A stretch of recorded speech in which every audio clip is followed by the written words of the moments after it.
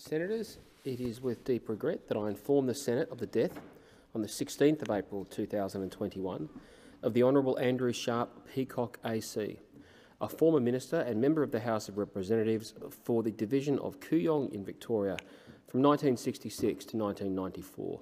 I call the Leader of the Government in the Senate. Mr President, I seek leave to move a motion relating to the death of former minister and member of the House of Representatives, the Honourable Andrew Sharp Peacock AC. Leave is granted. Mr President, I move that the Senate expresses its sadness at the death on 16 April 2021 of the Honourable Andrew Sharp Peacock AC, former Leader of the Liberal Party and Minister for Foreign Affairs and former member for Kooyong, places on record its admiration and appreciation for his service to the Parliament and the nation and tenders its deep sympathy to his family in their bereavement. Mr President, the Honourable Andrew Sharp Peacock, the Colt from Kooyong, was a great Australian and a loyal icon and servant of the Liberal Party. A larger-than-life man with the charisma to match, he served his nation devotedly across a lifetime of public service. Born in Melbourne on 13 February 1939, Andrew studied at Scotch College before going on to study law at Melbourne University. He got his start in politics early, joining the Liberal Party as a teenager. In 1965, at the age of 26, Andrew became the youngest ever president of the Victorian division of the Liberal Party of Australia. Just a year later, he was elected to Parliament in the 1966 by-election caused by the resignation of the Right Honourable Sir Robert Menzies in the seat of Kooyong. The constituency of Kooyong would return Andrew to the seat at 12 further elections.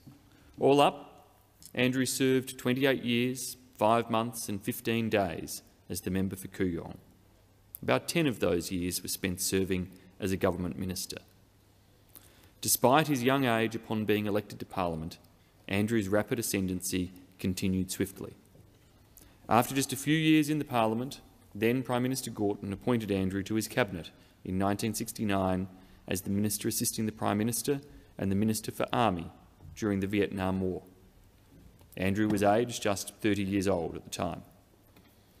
I also held responsibility for a variety of portfolios, serving as Minister for External Territories, Cabinet, Environment, Foreign Affairs, Industrial Relations and Industry and Commerce under Prime Ministers Gorton, McMahon and Fraser. As Minister for Foreign Affairs, he discharged the role with distinction and won the respect of Australia's close allies, especially in the immediate region. Andrew leveraged his strong and sincere relationship with the people of Papua New Guinea to help oversee its transition to full self-government and independence. His role in Papua New Guinea's independence cannot and should not be overstated. The Papua New Guinean government later made him an honorary Grand Companion of the Order of Logohu, their highest honour. Following the defeat of the Fraser government in 1983, Andrew took the reins of the Liberal Party as its leader and leader of the opposition. When then Prime Minister Hawke called an early election in 1984, Andrew Peacock was a clear underdog. However, he was widely credited without campaigning Hawke during a long campaign and certainly with reducing the margin of the Hawke government at the time. In his second stint as leader, Andrew led a strong campaign in the 1990 election, narrowly achieving a majority of the vote, but was narrowly defeated overall. At a speech on the occasion of Andrew's 80th birthday in 2019, he reflected back on those battles, the Liberal leadership and particularly the contest for the Prime Ministership. And he said, unlike most of my colleagues, I did not hunger for the job as Prime Minister. I truly was more interested in what we were doing than the post itself. I wanted good posts, I wanted to be the Foreign Minister, but being Prime Minister was not the central orient. It wasn't the central purpose to what I was doing. I mean, it was still important and it was disappointing to lose. I don't want to put it down. But I wasn't sitting there like some plotting to be Prime Minister. It wasn't in my nature. My friend Former Minister and former Senator for South Australia Amanda Vanstone tells me in reflecting on Andrew Peacock, She said that he rose above the slings, arrows and disappointments of politics. She said he did not let bitterness infest him. That, Mr President, is an important lesson and legacy that Andrew leaves for all of us who pass through this place. Indeed, Mr President, Andrew continued to approach politics and public life with dignity and an unmistakable toughness, matched by his sense of humour and typically affable manner. Amanda also told me of a classic story of one night, by then in the new Parliament, of how Andrew sat watching other people, recounting that he said if someone pushed the cork into an empty bottle, he was sure he could remove it without breaking the bottle said that like a fly fisherman teasing the water, he managed to draw them in. 20 bucks per person was apparently the bet. Amanda credits herself as being lucky not to get sucked in, others not so lucky. She said that he scooped the pool, collected his cash after managing to extract the cork, one of many party tricks, and much amusement forming around the room. She hasn't yet uh, expl explained to me exactly how the trick is managed to be achieved. In similarly fond reflections of Andrew Peacock uh, as someone able to impart a good sense of humour, sometimes even at his own expense, former Leader of the Government in the Senate, Robert Hill, recounts a memory he had with Andrew. He said he was always fun. I remember at a meeting in Athens, someone was giving a rather boring speech.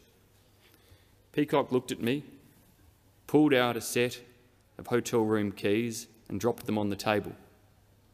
He then looked at me and said, Shirley's, with a mischievous smile and a wink.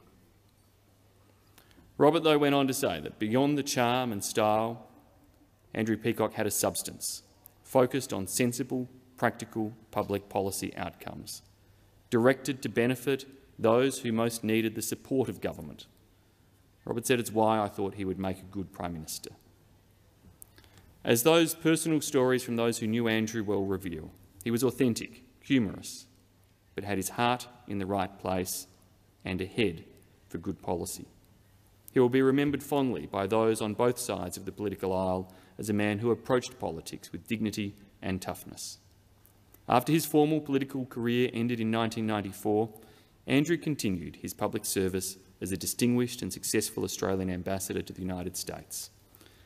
As former Prime Minister John Howard said of his appointment of his former political rival as ambassador, I welcomed the opportunity of appointing him as Australia's ambassador to the United States in 1996. He discharged that role with much distinction. His knowledge of American politics enabled him to provide special insights regarding our most important ally. Australia lost a man who brought flair and style as well as high intelligence to his years in public life. Mr President, I know that the current Minister for Foreign Affairs, Senator Payne, would wish to be here if she could to speak of her dear friend, her former employer and one of her mentors in Andrew Peacock. It's notable that she is out walking in the steps of Andrew, as our Foreign Minister today, representing our nation overseas, and I know that Marise looks forward and will value the opportunity to reflect on Andrew more formally on another occasion. Andrew Peacock was a great man, a great Australian who gave much to our nation and a great Liberal. On behalf of the Australian Government and the Senate, Mr President, I extend our sincerest condolences to Andrew's wife, Penny, his three daughters, Anne, Carolyn and Jane, and the thanks of a grateful nation for the service that he gave. Senator Wong. Uh, thank you, Mr President. And I rise on behalf of the opposition to express our condolences following the passing of the Honourable Andrew Sharp Peacock AC. And I convey at our, the outset our sympathy to his family and friends, and particularly acknowledge my counterpart, the Minister for Foreign Affairs, who I know has had a long association with him since her earliest days working in politics. Well, Andrew Peacock combined substance and style, and he advanced Liberal causes throughout a three-decade career as a parliamentarian and later as a diplomat. And he was present during important mo uh, moments in our history and in world history, from our engagement in Vietnam and the independence of Papua New Guinea, to leading the Liberal Party to two elections, and of course as Australia's ambassador to the United States. that he never became Prime Minister is, for some, a great shame. But he accomplished a great deal in his career, both inside and outside the Parliament. And on our side, he will always have respect for the stature he gave classical liberal values and for the force with which he advocated them internally and publicly. He put liberalism at the centre of the Liberal Party, even when that, when that meant having difficult battles with those leading the growing movement towards hardline conservatism. And I hope that reflections on his passing inspire those of more classically liberal persuasions to find their voice and renew his legacy. Andrew Peacock's early life quickly turned to politics. Uh, he went to the University of Melbourne where he completed a Bachelor of Laws degree, but of course the pull was always towards a different vocation.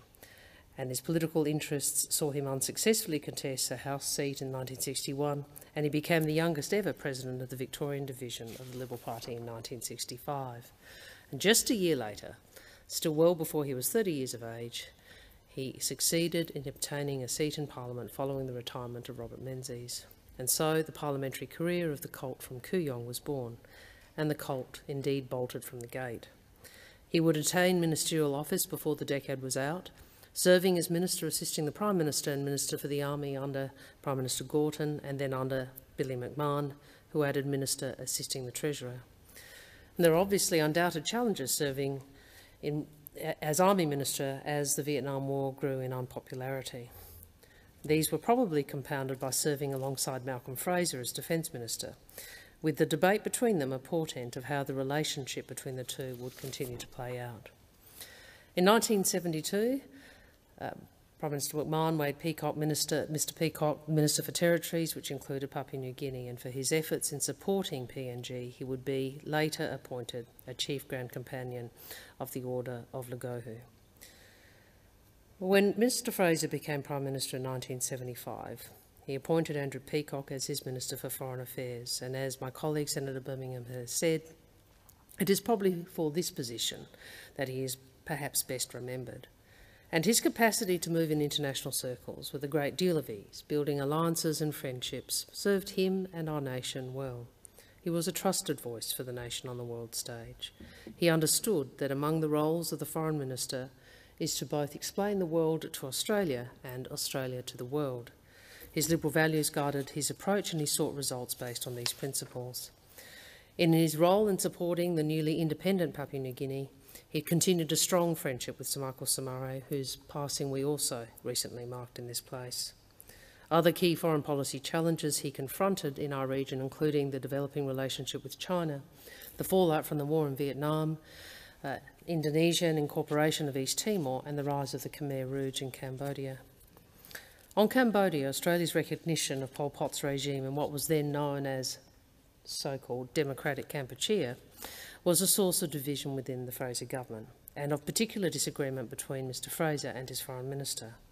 Mr Peacock was strongly opposed to recognition, a matter he argued in Cabinet and in the House of Representatives, as well with, as with the Prime Minister directly. His arguments with Fraser became especially heated when the evidence came to light of the torturing and death of two Australians, David Scott and Ron Dean, at the hands of the Khmer Rouge.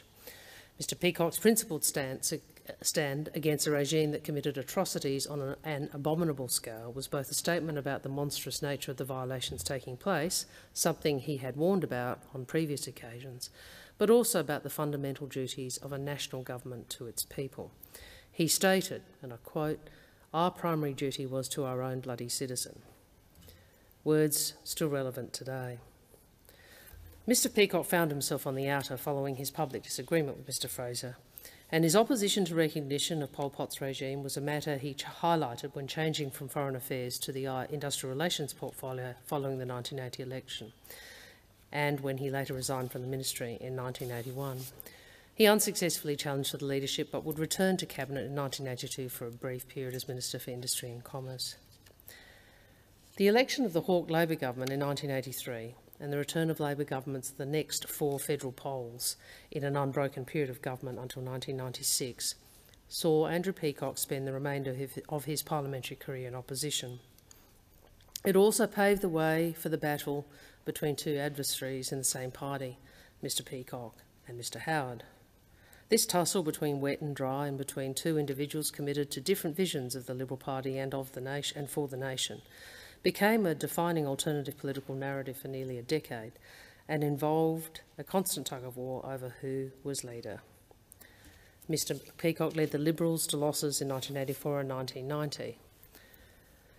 During the latter campaign, his capacity to be Prime Minister came under significant attack. But it is worth noting that during that election, the coalition received, to his credit, more than 50% of the vote, and yet he accepted that result with the spirit in which, with which our democracy should be conducted. Andrew Peacock resigned from Parliament in September of 1994, and he was appointed to serve as Australia's ambassador to the United States. And he found himself as our representative to our principal ally. As the Clinton administration grappled with the changing dynamics in geopolitics following the end of the Cold War, including the 1998 Kosovo War. And in 1997, he was recognised for service to the Parliament, to politics, to the formula, for the formulation and implementation of defence and foreign policy when he was appointed as a companion to the Order of Australia.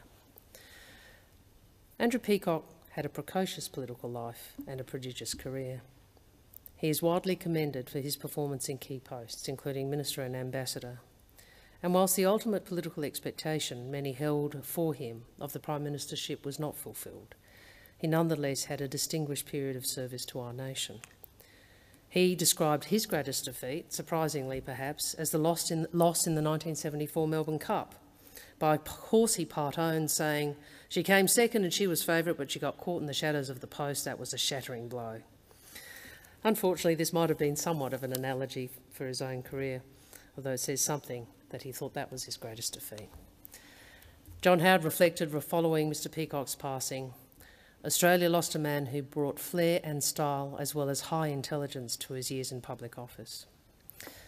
Andrew Peacock set new standards in Australian politics. And I again close by expressing, on behalf of the Labor Party, our condolences and deepest sympathy uh, following his passing to his family, friends, and to his party.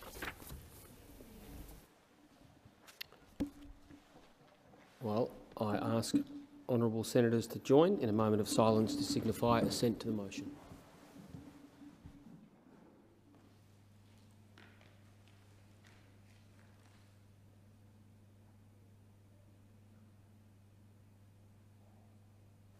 The motion is carried. I thank senators.